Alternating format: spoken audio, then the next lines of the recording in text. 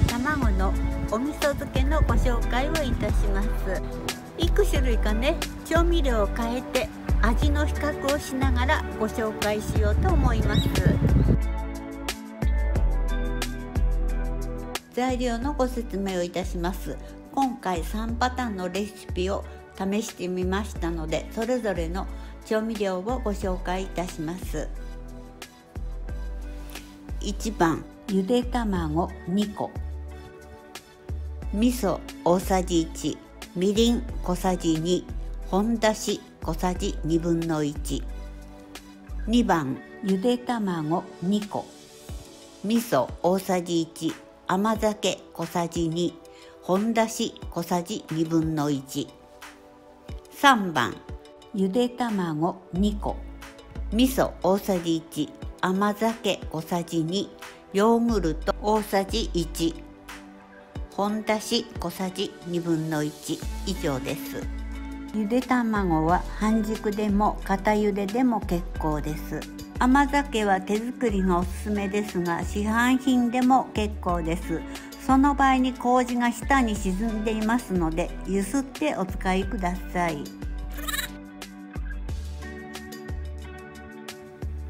保存袋にね調味料を入れていきます。加え終わりましたらねよくなじませてくださ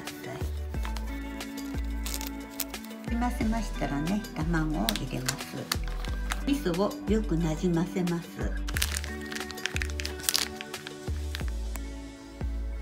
空気を抜き口を閉じます。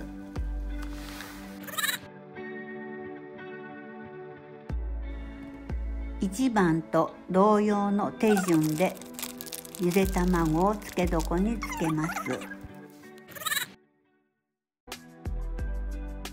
3番も同様につけます。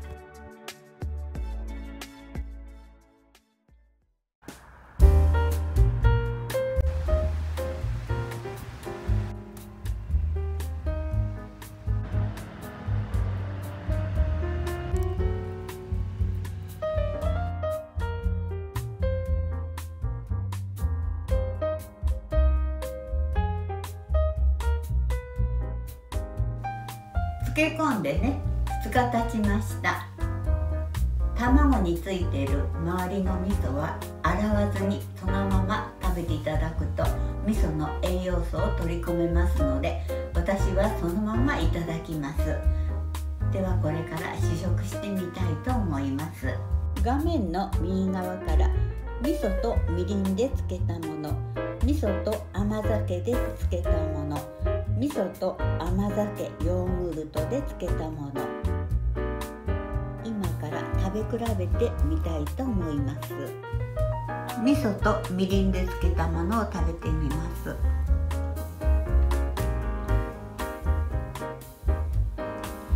味噌のね香りがしっかり入っています。甘みはあまり感じません。甘みを甘酒に変えたものを食べてみたいと思います。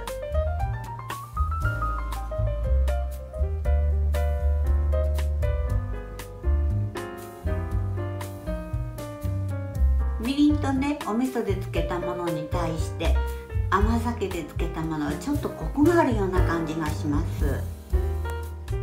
最後に味噌ヨーグルト甘酒で漬けたものを試食してみます。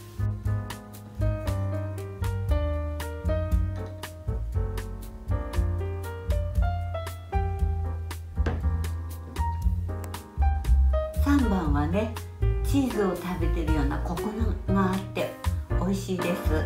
私は3番が好きです。このレシピは数時間で味が入りますが2日半ほど漬け込みますとさらにコクが出て美味しくなります。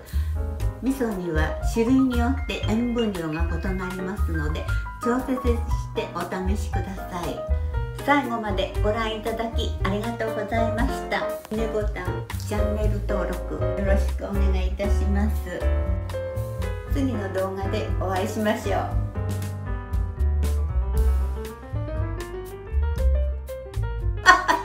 ちょっと待ってください。